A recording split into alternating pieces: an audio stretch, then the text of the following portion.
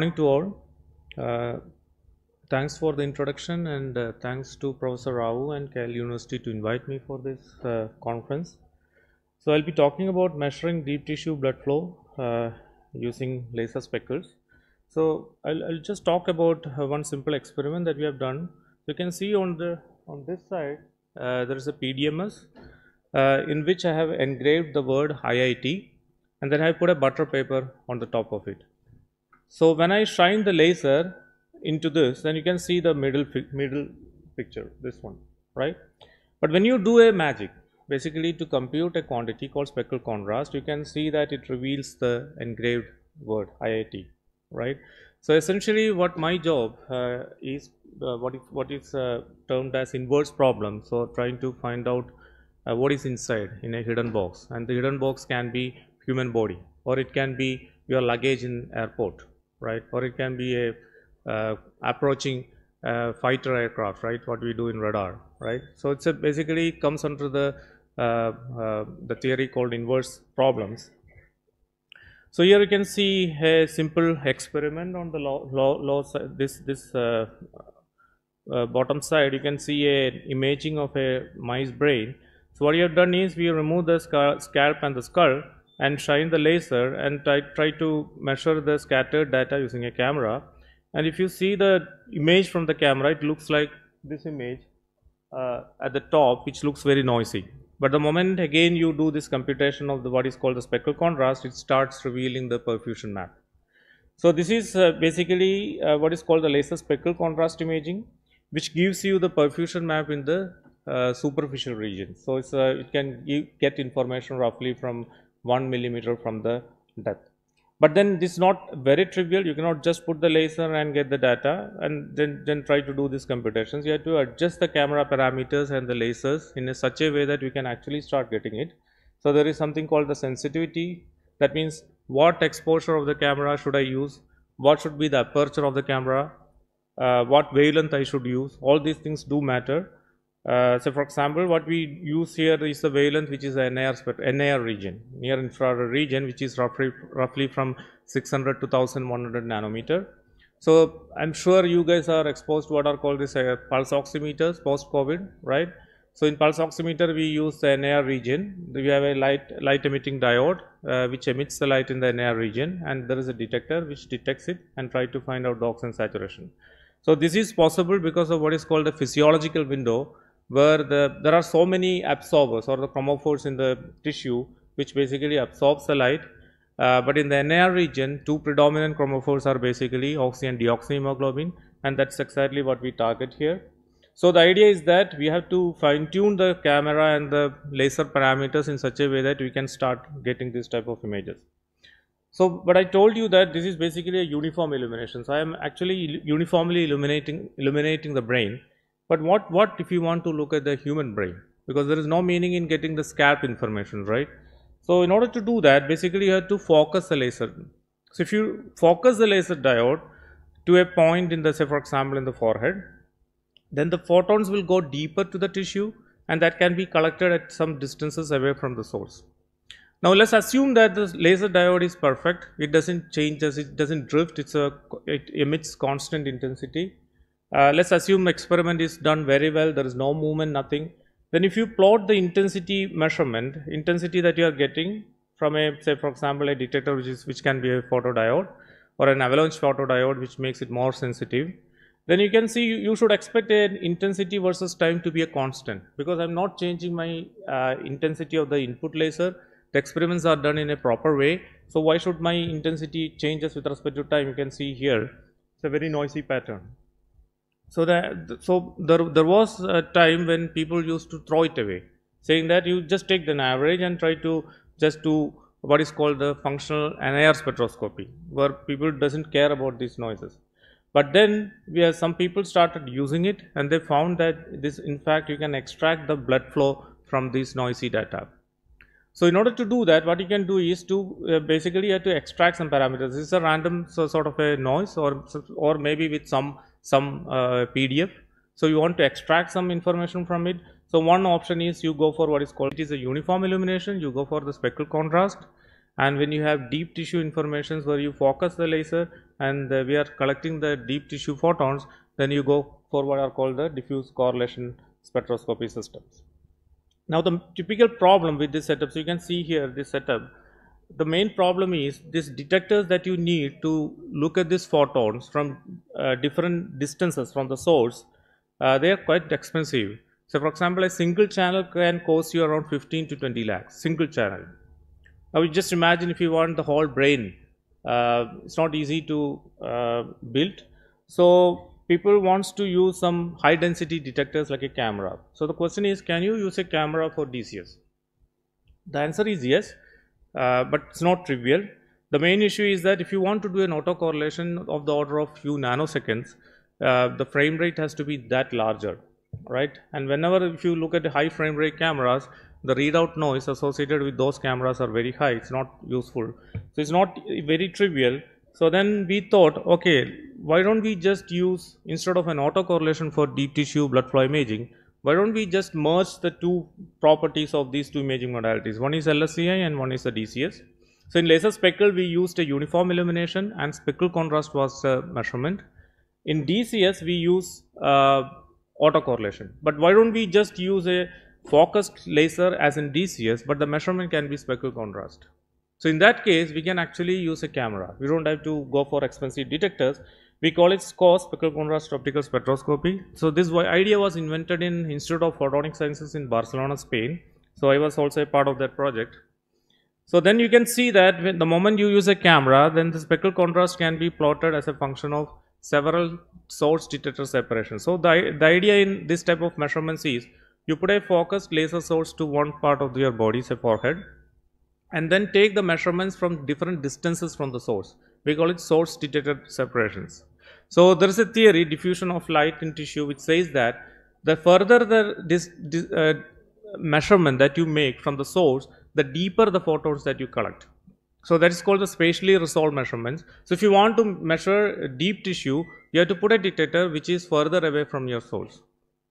So if you do that, you can plot your speckle contrast with respect to source detector separation and then start looking at some uh, uh, imaging. So once you have this speckle contrast with respect to different source detector separations, you can think about uh, quantifying the blood flow. Then we also can think about what is called optical tomography. That means instead of putting one source and the detector, you put multiple source or scan it and take more detectors. Then you can actually start doing a tomography. You can see here there is a tube in a in a block and then do a scanning in the reflection geometry and you can start reconstructing these tubes. So these theories I, I skip, basically it comes from what is called the perturbation analysis.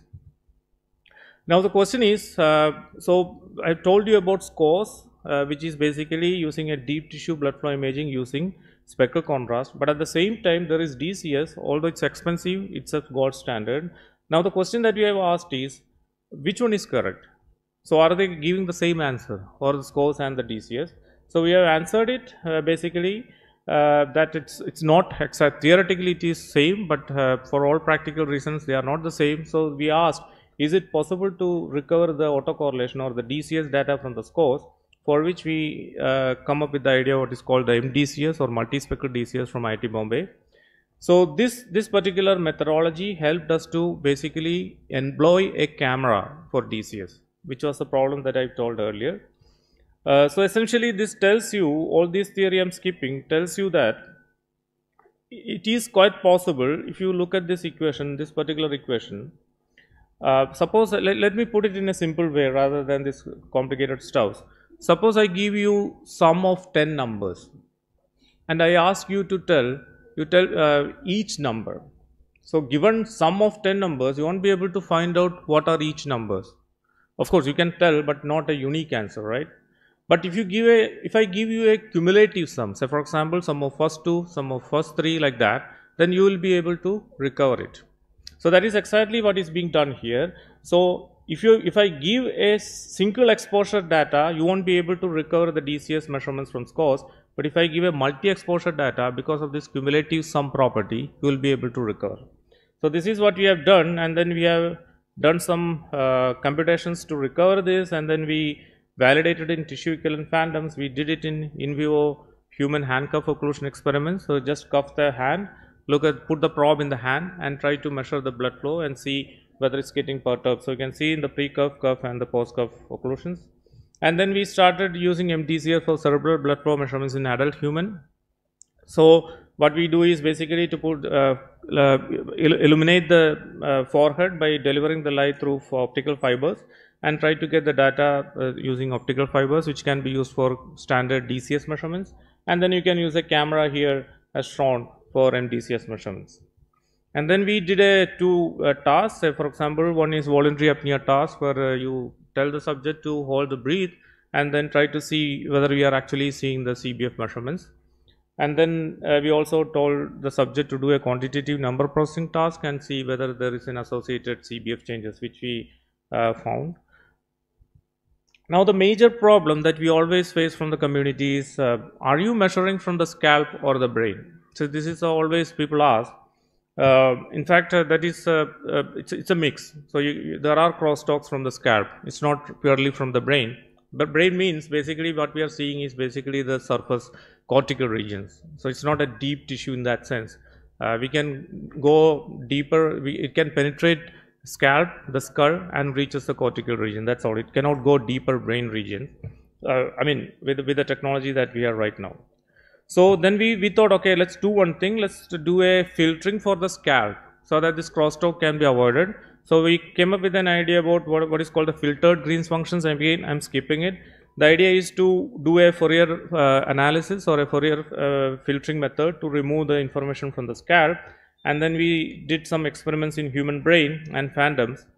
And then we started getting some uh, data which is uh, filtered for the scalp uh, from the human brain. Uh, and we did a tomography as well. So you can look at all these uh, in our publications. Then we moved to uh, preclinical imaging. Say for example as developing a small animal imaging platform. The, the, the idea is like this. If you look at this picture uh, this is the setup that you have always have to build to do some experiments in animals. And it was becoming a big problem for us. First of all, we have to go to some other institute to do this. Our animal setup is uh, coming up. So right now we are doing it in IISER Pune. So it's a big task for the students to always go there and set up this stuff. And so all, there can be error in the instrumentation if you do it, don't do it properly. So we thought we should build our own system so this is a system that we have developed. It's a, it's a very crude, not very pleasant to look, but we are now funded to make it more commercial by BIRAC. So, uh, so this uh, initial system design and proof of concept is done. Uh, now we are uh, trying to make it into more uh, some, something like a first commercial prototype. And we in fact did some uh, experiments. We are now exploring the olfactory sensing in mice using this setup. So, uh, to coming coming back to the uh, theme of this conference, so uh, I do not do any machine learning as such. We just started, so it's like, like our baby steps towards application of ML. This is primarily one of my postdoc pushed me to do this. I have I was having a lot of reservation against this AI ML stuff. Uh, many of the speakers were sharing the same thing. Uh, the main problem is this black box stuff so whatever things that we do, we have our own code. We know what, what sort of code we have to do, what sort of equations we have to solve. We know the convergence analysis of it. We know all this stuff. So it's in our hand. But this machine learning is a big problem because it, whatever curves that you show here, it's like basically a 5 or 10 lines of code. And the rest of the things are done by the library file. So I don't know much about it. So that's my uh, reluctance to start working on it. But nevertheless, we did something so what we did is uh, enhancing the temporal resolution of laser speckle imaging system using data imputation. Uh, so basically, uh, uh, the problem that we face is uh, shown here.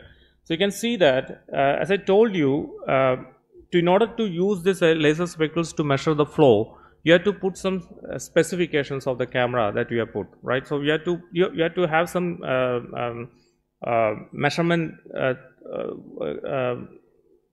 uh, like the, the, the, camera exposure or the veil and those, those things have to be set optimally to get the uh, flow. And one of the major thing is what exposure that you put. So this exposure time of the camera should be proportional to correlation decay of a particular blood flow. So that is shown here in this curve. but then the problem is uh, just like any inverse problems we don't know exactly what we are going to measure so a priori we don't know what is it so we have to have a very high dense multi-exposure data because we don't know what tau c we are going to look at. Tau c means uh, something proportional to flow. So in that case uh, basically we have to go for a high dense multi-exposure data which takes a lot of time. So it affects the temporal resolution of the system. So the uh, it takes a few few seconds to get the, all the data before we can move to the next one. So it affects the temporal resolution. So we thought okay shall we apply machine learning for this purpose and then we started using what are called as generative adversarial imputation networks uh, which uh, uh, one of the speakers have already explained in a nice way. Uh, so the idea is something like this. Uh, what we do is basically to take the multi-exposure speckle contrast data and then you give a training data which is by taking some just remove some of them randomly. By but our, my test data will be some some row. That means i'm not going to take couple of multi-exposure data. So for example if i want to do a measurement from say few uh, microseconds to few seconds i cannot just sweep the entire uh, exposure. So i skip. Say i'll take just 10 of them with some decade of change. Then then the question is with this with this uh, coarser data just like what I have given here with a coarser multi-exposure data will you be able to do a measurement of blood flow with a good accuracy. So that is possible if you take this coarser data impute that imputation means you just try to impute the in include the data which are missing using this GAN network and then you can actually start doing it. So we have some preliminary results so the idea is like this. So you have the original data and this X denotes the missing one. Yeah, so you have this data matrix and then you have a random matrix which fills some some random numbers in the missed one and you have a mask matrix which tells you where the data is missing. You generate a prob probability matrix like a hint matrix for the mask matrix. You assign some probability for this missing one and the generator in the conventional way generate you the imputed matrix. So, it is just like a some some um, multi-layer neural networks can generate this imputed matrix. Now, now what happens is this imputed matrix uh, and this hint matrix are fed to discriminator. So, the job of this discriminator is basically to say whether the imputed data doesn't look odd. So, you it should not discriminate between the actual data and the imputed data. So, if the discriminator assigns the probability in such a way that it can basically discriminate this imputed data, then it is a problem.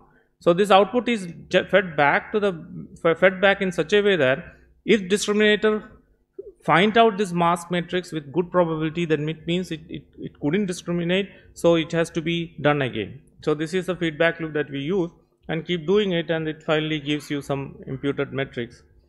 and then you can see that here on the right side you can see that uh, if I take say 10 exposures 10 exposures means uh, image is not just 10 10 exposure 10 sets of exposures with say 1000 images. So it can be 10,000 images. Uh, and with the acquisition time of 1 minute then you your error in the blood flow index is 10 to 20 percent but if you give enough time so for example if you take number of exposures to be 30 of course the temporal resolution is very bad because it takes 3 minutes to occur then your SNR is good 3 to 7 percent is accuracy that you have. But then by deep learning we basically we can actually use 10 and then 1 minute itself at the with the same accuracy. So, we can actually save some time uh, improve the temporal resolution, but not at the cost of accuracy. So, we did this with the handcuff experiments as well. Now, we, we very recently introduced what are called the stochastic differential equations to model the laser speckles. Uh, so, this is basically a stochastic differential equations are basically like an uh, uh, first order ordinary differential equations. You can see here this di by dt is a times dt. You forget the second term b dw. You take this a to uh, dt to the left side. You can see di by dt is equal to some a. So, it is a first order simple first order differential equation, but when you add something to it, so second term b times dw or dw is called basically called a w is a Wiener process d or we can call it as Brownian motion or you can consider this as a forcing function which is random in nature, then you, you can actually start getting some I, I of t which is random in nature, but with certain statistics. So, for example, I can fix the statistics of i to be exponential PDF that means exponential probability density function and with a given autocorrelation. Now, why we choose this is basically a speckle. Uh, what I told you regarding the speckle, that these random fluctuations, right? So, maybe I should have told this earlier. You take this pointer and put it into a wall, you can see very dark and bright spots. That is called speckles. That's what we have, we have been, I have been telling this to measure the flow. So, these speckles are characterized by certain statistics which is a given PDF which is exponential in nature and a simple exponential autocorrelation. So, these are the two characteristics of these speckles and in fact you can actually start generating an IOFT using this particular model uh, with this predetermined uh, PDF and autocorrelation. Then you can use these equations to simulate the speckles. So, this is one of the first works in this field. Usually people use different diffraction theory or Fourier transform space methods to simulate the speckles, but we for the first time did it in using uh, stochastic differential equations. And uh, you can incorporate the deep tissue as well as the uh, superficial uh, speckles. And then these are some simulated examples where we have simulated the speckles for su superficial regions. See, see for example you can take a actual image of the mice perfusion map and then merge it with the simulated uh, speckles so it looks like this so the question that you have asked is so uh, so you can you can look at this publication to uh, find more details. But then we thought, okay, if it is a simulation tool, why don't we make it into a hard hardware calibration phantom? So the main issue that we face for this type of uh, speckle imaging systems are we have to standardize it before you move to animals or humans. So you need some some way to standardize it. So uh, we use phantoms, which are basically this glycerol and uh, intralipid phantoms. So shelf life is very bad and uh, only discrete set of uh, dynamics that you can get. But then we come up with a way to have a continuous uh, flow phantom where you don't you don't have to worry about the shelf life. It's a complete uh, electronic hardware and it can be used anytime that you want. So what we did is a simple technique. We took this uh, simulated uh, random speckles that we have generated using our SDE and put it into a piezo transducer. Then the piezo transducer will start vibrating. You illuminate it with a laser then the laser will fluctuate according to what we set it in the SDE or the stochastic differential equation. Then we, basically what you are generating is speckles which predetermined statistics using our equation. So we can have a, any any value that you want to give, you can give it in the transducer, of course limited by the bandwidth of the transducer, and then you can actually start look using it for uh, speckle imaging calibration system. So this is what we have done. So now what you are doing is uh, basically approaching the stochastic inverse problems basically to do the stochastic optimization approach to do, to do this one. So essentially we came up with a model for stochastic models for the laser speckle. So now we are trying to see an inverse problem associated with it so that we can actually try to get a better estimate of blood flow rather, rather than doing some conventional deterministic fitting. So this part is where we are also trying to merge the uh, machine learning because right now we are doing some ordinary least squares and maximum likelihood which is conventional methods. Uh, but only thing is that you have to basically uh, so uh, whatever things that you have done in ML uh, the paper is yet to come but we have put some effort to define why do you need machine learning? Because you can ask me why don't you just do fitting so this is something that you have to always think whether you need the machine learning or not so we have put some effort to uh, defend ourselves that this is required so here also we we hope we will be doing it. So this this is a to publish. So I'm not including all these things in this talk because we are going to present it in CLEO. So that's all. So these are my group collaborators and the funding source. Thanks. Long live India and France friendship.